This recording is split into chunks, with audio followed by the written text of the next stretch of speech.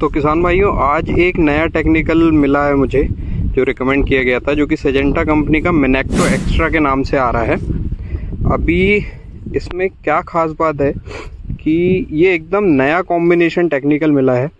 इस तरीके का टेक्निकल अभी तक देखने को नहीं मिला था एक नया पेटेंटेड टेक्निकल है। तो पहली बार मैं इसको यूज़ कर रहा हूँ। अभी तक इसको राइस में यूज़ करने का रिकमेंडेशन था बट देखते हैं इसका हमारे शिमला मिर्च में कैसा रिज़ल्ट आएगा। दूसरा टेक्निकल जो मैं अभी यूज़ करने वाला हूँ, वो भी सेजेंटा कंपनी का स्कोर है। इसमें डाइफेनोकोनाजोल है 25.0 mm अच्छा फंजीसाइड है, अभी क्या है, दिवाली पे तीन चार दिन लेबर आएँगे नहीं और कोई स्प्रे हम ले नहीं पाएँगे तो फिर लॉन्ग ड्यूरेशन तक जो काम करें, मैं ऐसे एक फंजीसाइड की ज़रूरत थी। सबसे ख़ास बात जो मुझे इस टेक्निकल के बारे में बहुत सरप्राइजिंग और शॉकिंग लग रही है, वो ये है इसका रेट ये सिर्फ़ 20 एम पर 200 लीटर पानी में स्प्रे करने के लिए कहा गया है मुझसे। मतलब बहुत छोटा डोज है, इसका 20 एम का डोज है एक एकड़ के लिए।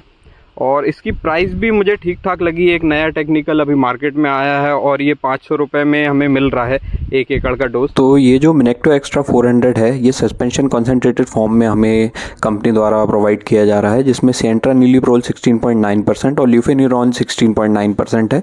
अभी मार्केट में इसके 10 एम एल बीस एम एल पचास एम एल और सौ एम एल के पैकेट उपलब्ध हैं। ये डुअल मोड एक्शन पे काम करता है, जो कि बहुत लॉन्ग लास्टिंग इफ़ेक्ट दिखाता है। अभी तक जो इसके धान में टेस्ट हुए हैं, उसमें कम से कम बीस से पच्चीस दिन का इसका इफ़ेक्ट देखा गया है। फास्ट एक्शन है, जैसे ही संपर्क में आते हैं, कीट इसके तुरंत ये उनको डैमेज पहुंचाता है क्योंकि ये उनके खाने बनाने की प्रक्रिया को रोक देता है नर्वस सिस्टम को डैमेज कर देता है, जिस कारण से इसका तुरंत एक्शन देखने के लिए हमें मिलता है।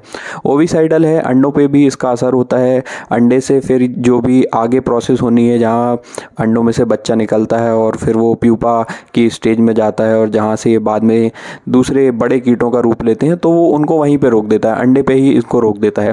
ट्रांसलेमिनार है, आप ऊपर इसका छिड़काव करेंगे पत्तों पर तो वो पत्ते से ऊपर की सतह से नीचे की सतह तक जो आपने स्प्रे करा है दवा का, वो आता है।